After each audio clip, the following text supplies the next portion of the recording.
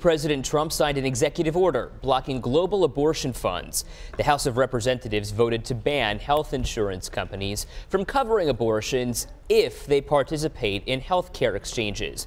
And happening right now, some pro-life Western New Yorkers are getting ready to leave for Washington, D.C. That's right. They're headed to the annual March for Life, where Americans demonstrate their support of all human life. And 7 Eyewitness News reporter Tweelon Nugent is in Alden this morning as they're getting ready to leave. Tweelon, tell us what's going on there.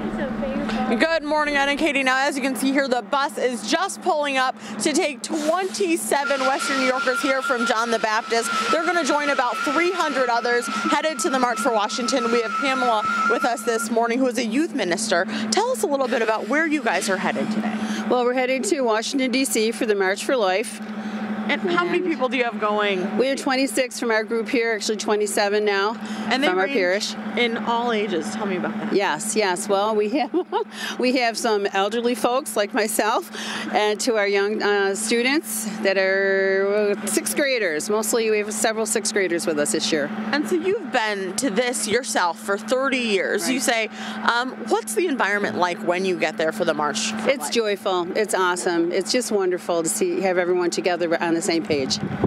And so, so many people headed out there to speak their minds and join together. Why is that so important for you to do? Well, it's important for us to stand up for the voiceless. For those that don't have a voice, we stand up for the unborn.